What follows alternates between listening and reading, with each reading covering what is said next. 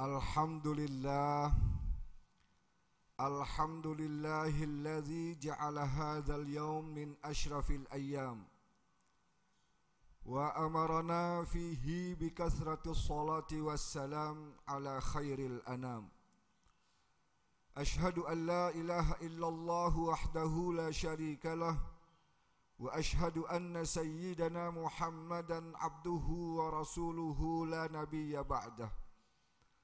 اللهم صل وسلم وبارك على سيدنا ونبينا ومولانا محمد وعلى آله وصحبه أجمعين. أما بعد فيا عباد الله أوصيكم ونفسي بتقوى الله تعالى وطاعته لعلكم تفلحون. فقد قال تعالى في كتابه الكريم أعوذ بالله من الشيطان الرجيم. يا أيها الذين آمنوا اتقوا الله حق تقاته ولا تموتن إلا وأنتم مسلمون. صدق الله العظيم. معاشر المسلمين hamba-hamba Allah jamaah salat Jum'ah rahimakumullah Di siang hari yang penuh nikmat ini Marilah kita gunakan sebaik mungkin Untuk mengkonsentrasikan jiwa, raga dan hati kita. Kita bertawajuh ke hadirat Allah subhanahu wa ta'ala Seraya mensyukuri segala nikmat yang telah banyak Allah berikan kepada kita. Mudah-mudahan kita termasuk hamba-hamba Allah yang pandai bersyukur atas segala nikmat, taat dalam beribadat dan pandai pula menjauhkan diri dari perbuatan maksiat. Salawat dan salam semoga tetap tercurahkan kepada junjungan kita Nabi besar Muhammad sallallahu alaihi wasallam yang telah membimbing kita dari alam kebodohan sampai kepada alam ilmu pengetahuan. Mudah-mudahan dengan sekelumit ilmu yang ada pada diri kita masing-masing dapat menghantarkan kita kepada surganya Allah subhanahu wa ta'ala. Amin. Ya rabbal alamin. Selanjutnya tidak lupa selaku khatib al-faqir untuk mengajak diri pribadi dan kepada kita semua untuk bersama-sama kita berusaha dan berupaya meningkatkan kualitas iman kualitas takwa kita kepada Allah Karena dengan iman dan takwa insya Allah kita akan dapat menggapai petunjuk Allah serta dapat berjalan di bawah bimbingan dan arahannya. Saudara-saudara kaum muslimin, hamba-hamba Allah rahimakumullah. Dalam kehidupan kita sehari-hari sebagai manusia, di mana sering kali kita dihadapkan pada dua keinginan yang sangat-sangat berbeda yaitu keinginan untuk berbuat suatu amal kebaikan dan ada keinginan untuk berbuat suatu amal yang tidak baik. Jadi di dalam jiwa kita, di dalam hidup dan kehidupan kita ada semacam perang batin dalam rangka memilih alternatif ingin berbuat baik atau ingin berbuat sesuatu yang tidak baik. Dalam Al-Qur'an surat Asy-Syams ayat 10 sampai 13 Allah berfirman, "Fa'alhamaha fujuraha wa taqwaha." Artinya setiap jiwa manusia itu telah diilhami jalan kefasikan dan jalan kebaikan. Qad aflaha man zakkaha maka berbahagialah bagi orang yang membersihkan jiwanya itu dengan senantiasa berbuat amal-amal yang baik. Sebaliknya, waqad khaba man maka merugilah bagi orang yang selalu mengotori jiwanya itu dengan senantiasa berbuat amal-amal yang tidak baik. Bahkan dalam satu hadis dikatakan Ala anna fil jasadila mudghah. Sesungguhnya di dalam tubuh manusia itu ada mudghah. Segumpal darah yang disebut dengan hati. In saluhat saluhatil jasadu kulluh wa in fasadat fasadatil jasadu kulluh. Ala wahiyal qalb. Apabila hati seseorang itu baik, maka sudah dapat dipastikan semua amal perbuatannya, segala tingkah lakunya akan baik pula. Sebaliknya, manakala hati seseorang itu jelek, hati seseorang itu buruk wa naudzubillah, maka sudah dapat dipastikan segala aktivitasnya, semua amal perbuatannya akan cenderung buruk pula, saudara-saudara. Fokus kita dalam Jumat kali ini adalah mental, hati, atau jiwa yang tidak baik. Apabila hati seseorang, mental seseorang termasuk yang tidak baik, maka cara memperbaikinya sebagaimana yang diajarkan oleh Islam, paling tidak dia harus memiliki tiga hal. Yang pertama tauhid, yang kedua tafakur, dan yang ketiga taubat. Yang pertama tauhid. Saudara-saudara, Islam menganggap bahwa kezaliman, kemungkaran dan kebatilan yang terjadi di muka bumi ini oleh karena bodohnya manusia dalam mengenal Allah dia tidak menyadari apa yang dia lakukan itu selalu diawasi oleh Allah. Karenanya yang pertama sekali diajarkan oleh Islam itu adalah ma'rifatullah, mengenal Allah. Awaluddin ma'rifatullah. Para ulama mengatakan barang siapa yang mengenal Tuhannya, pasti dia sibuk mengabdi kepadanya dengan meninggalkan setiap bujukan dan rayuan hawa nafsunya.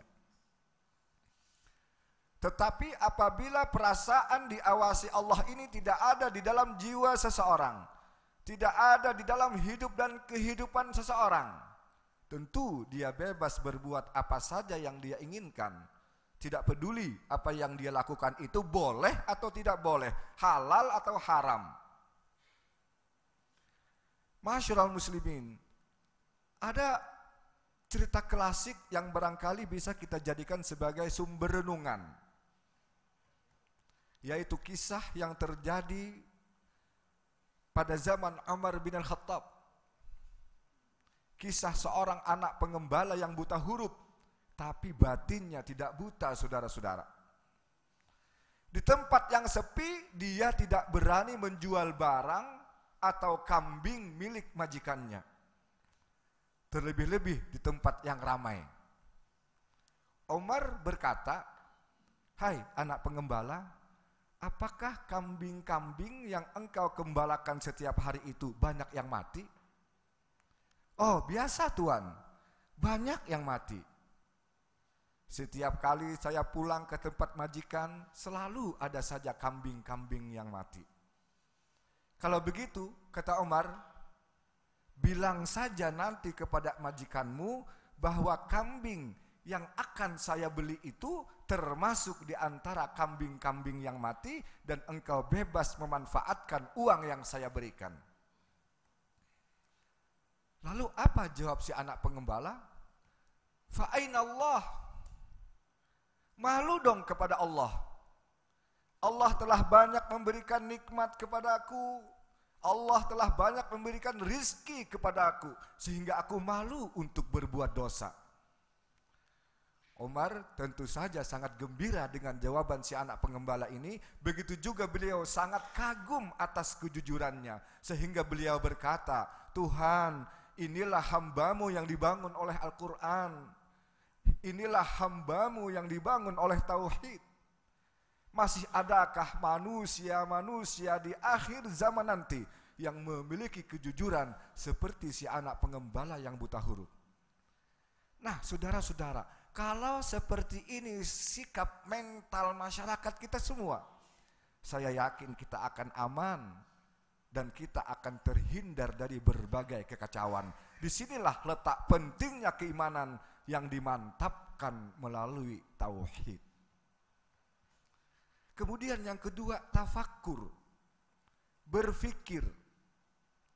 Di Di dalam Al-Quran banyak menyinggung dengan kalimat afala ta'qilun, afala tatafakkarun, dan lain sebagainya.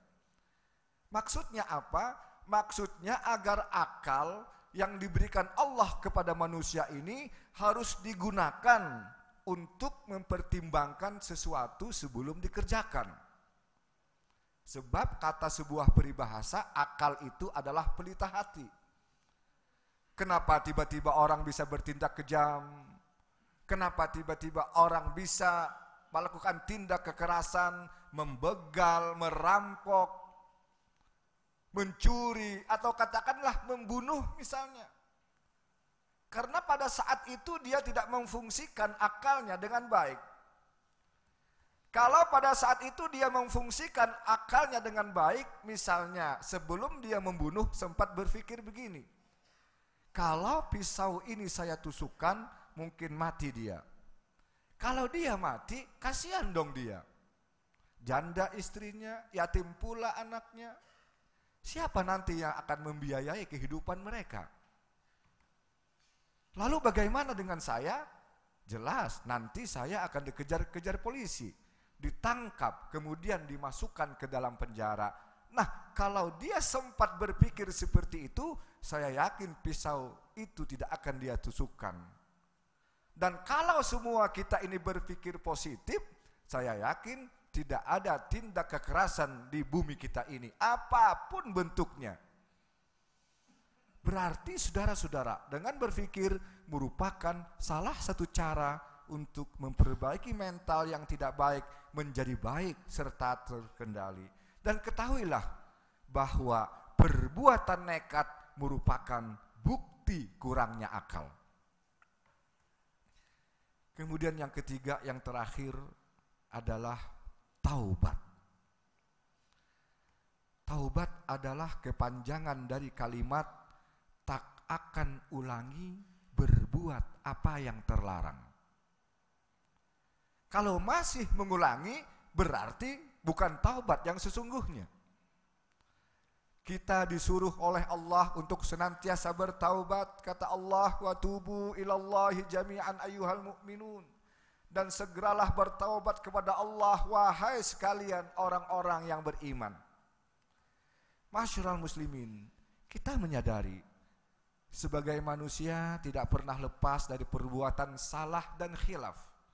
Ini wajar Rasulullah Shallallahu Alaihi Wasallam pun bersabda, al insan mahalul khata'i wan nusyan. Manusia itu adalah tempatnya salah dan khilaf. Akan tetapi sebaik-baik manusia yang bersalah dia segera bertaubat. Khairul khata'in at-tawwabun. Dia salah kepada Allah, dia segera bertaubat. Dia salah kepada sesama manusia, dia segera meminta maaf. Sayangnya saudara-saudara, banyak dari kita yang kelihatan berkumpul, saling akrab satu sama lain, saling tertawa. Tapi di dalam hati ada gumpalan kebencian. Kalau itu yang terjadi, apalah artinya keakraban? Atau apalah artinya bersalaman manakala tidak disertai dengan sentuhan hati? Dan Rasulullah Shallallahu Alaihi Wasallam sebelum beliau wafat sempat berwasiat kepada kita. Apa kata beliau? Permusuhan itu bukanlah merupakan ajaranku. Permusuhan bukan merupakan bawaanku. Nah, saudara-saudara, manakala taubat ini dapat dipertahankan, maka melalui pintu taubat insya Allah akan bisa merubah sikap mental yang tidak baik menjadi baik serta terkendali. Oleh karena itu, marilah kita berusaha dan berupaya untuk memiliki ketiga T tersebut, tauhid, tafakkur, dan taubat di dalam kehidupan kita sehari-hari, kemudian kita laksanakan dalam setiap langkah maupun gerak kita dalam rangka mengabdi kepada Allah Subhanahu wa taala. Dengan memiliki ketiga T tersebut, insya Allah akan tercipta perdamaian di muka bumi ini. Amin ya rabbal alamin. Mudah-mudahan Allah memberkahi dan merahmati kita. Wa qur rabbighfir warham wa anta khairur rahimin.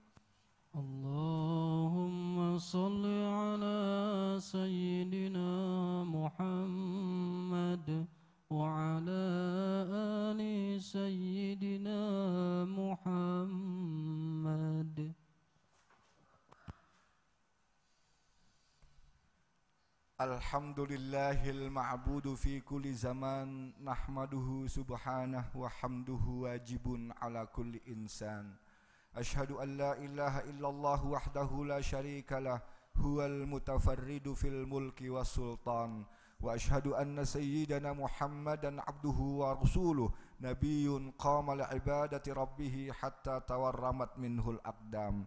اللهم صل وسلم وبارك على سيدنا ونبينا ومولانا محمد وعلى آله وصحبه أجمعين. أما بعد فاتقوا الله يا عباد الله. صلوا وسلموا على خير خلق الله. فلقد أمركم بذلك ربكم فقال إن الله وملائكته يصلون على النبي. يا أيها الذين آمنوا صلوا عليه وسلموا تسليما. اللهم صل وسلم وبارك على عبدك ورسولك محمد وعلى آله وصحبه أجمعين. وارض اللهم على جميع الخلفاء الراشدين وجميع الصحابة والتابعين ومن تبعهم بإحسان إلى يوم الدين. وعلينا معهم بعفوك ورحمتك يا أرحم الراحمين. اللهم اغفر المسلمين والمسلمات. المؤمنين والمؤمنات الأحياء منهم والأموات. إنك قريب سميع مجيب الدعوات ويا قاضي الحاجات. ربنا تقبل منا إنك أنت السميع العليم وتب علينا إنك أنت التواب الرحيم. واغفر لنا ولوالدينا ولجميع المسلمين الأحياء منهم والميتين. يا رب العالمين برحمتك يا أرحم الراحمين.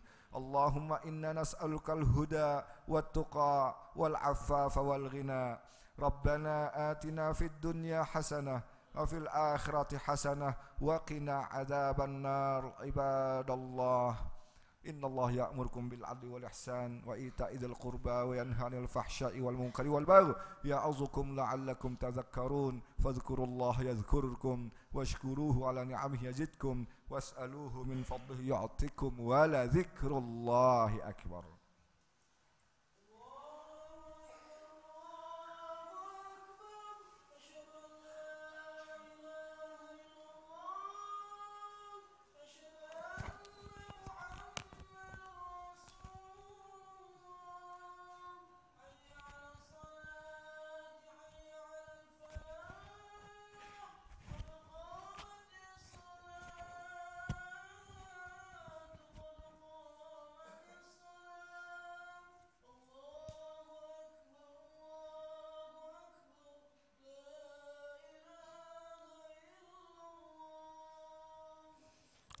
إله إلا الله محمد رسول الله. سووا صفوفكم فإن تسوة الصفوف من تمام الصلاة.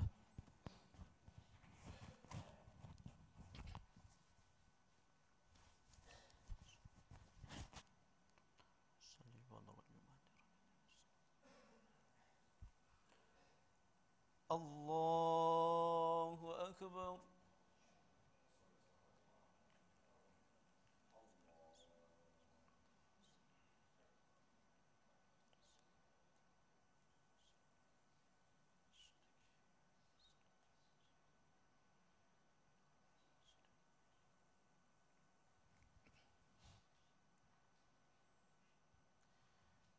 بسم الله الرحمن الرحيم.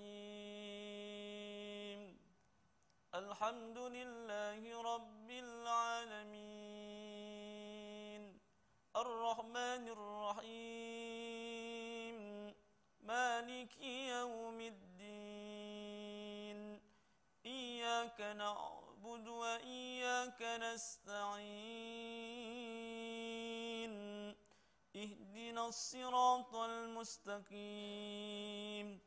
صراط الذين أنعمت عليهم غير المغضوب عليهم ولا الضالين.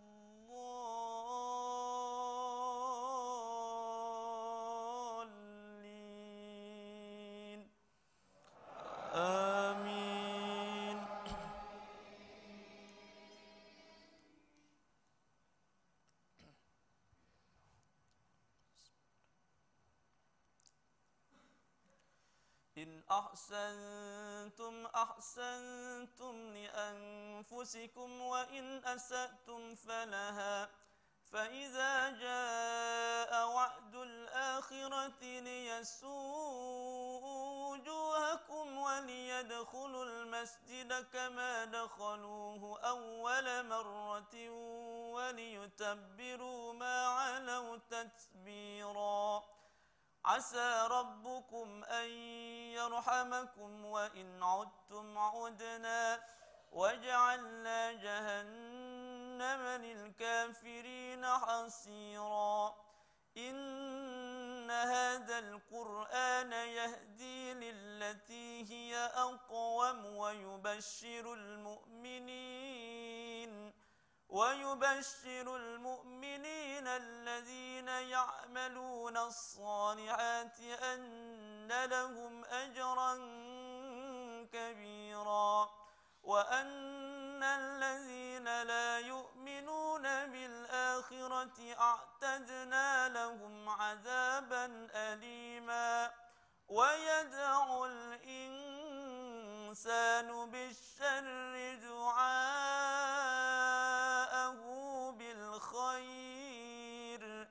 وكان الإنسان عجولا. الله أكبر.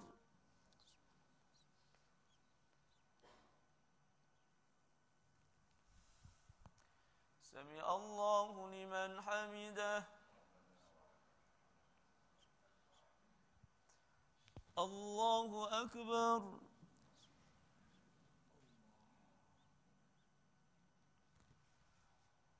الله أكبر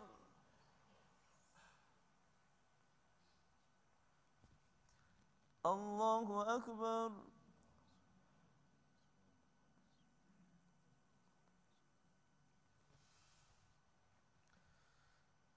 الله أكبر. بسم الله الرحمن الرحيم. الحمد لله رب العالمين. الرحمن الرحيم. مالك يوم الدين. إياك نعبد وإياك نستعين. اهدنا الصراط المستقيم. صراط الذين أنعمت عليهم غير المغضوب عليهم ولا الضالين.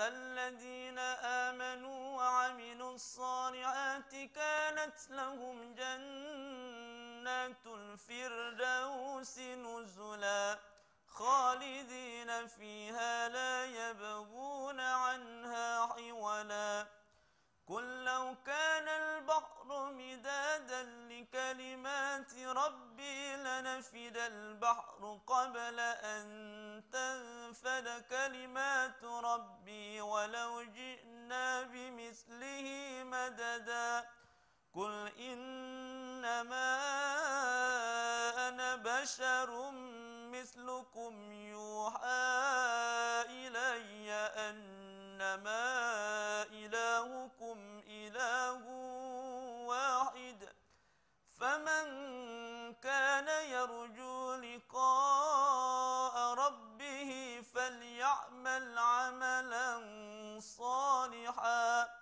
فليعمل عملا صالحا ولا يشرك بعبادة ربه أحدا. الله أكبر.